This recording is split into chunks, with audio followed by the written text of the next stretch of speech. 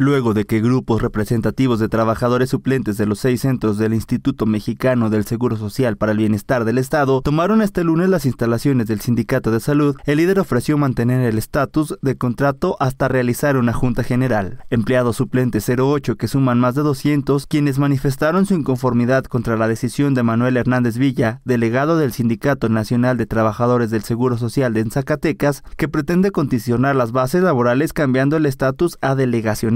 Informaron que después de tomar las instalaciones del sindicato, el delegado del Sindicato Nacional de Trabajadores del Seguro Social en Zacatecas los invitó a dialogar y les ofreció retrasar la decisión de otorgamiento de bases al menos 15 días, puesto que el 1 de noviembre es la fecha que se estableció para ello. Expusieron que en dicha fecha comenzarán los cambios luego de las jubilaciones, pero se pretenden dar de acuerdo con una lista en las que encontraron inconsistencias como números repetidos. Los afectados refirieron que estas razones se plantearon ante el delegado sindical, quien respondió que era necesario reunirse con todos los suplentes en una junta general para que se estableciera una fecha. No obstante, indicaron que Hernández Villa minimizó que hubiera minoría de suplentes en la toma del sindicato, pero se informó que los representantes provenían de Villanueva, Tlaltenango de Sánchez Román, Río Grande, Fresnillo, Pinos y Concepción del Oro.